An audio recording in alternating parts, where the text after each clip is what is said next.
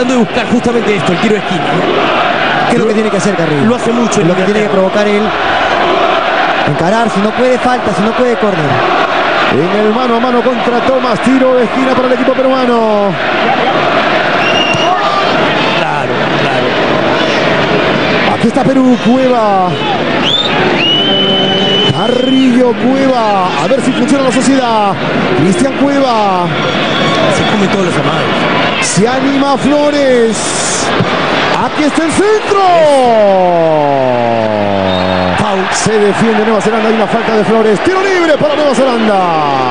Se tira, dice Flores. Era algo previsible que el córner no se ha lanzado directamente por unas torres, todos están por encima prácticamente del metro 85-90. Inventarse algo por abajo, sacar la corta, se comen Sí, los amagues con facilidad. Hay, que hacer amagues. eso. Sí, yo, Perú creo que tiene la lectura del partido. No es, no es ir y chocar, sino evitar el contacto, evitar el, eh, eh, el ser neutralizado por la numerosa marca de los neozelandeses. Es tenerla con paciencia, pero con picardía.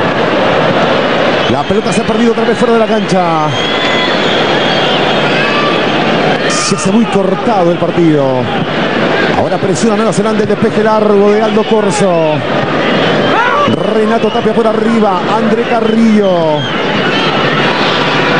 Maglinchi. Ya recupera la pelota ahora Jotun. Trauco. Jotun.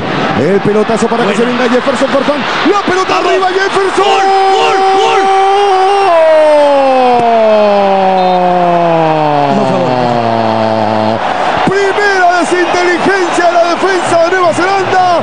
A punto estuvimos de cantar el primero, Gonzalo Eric. Una ingenuidad.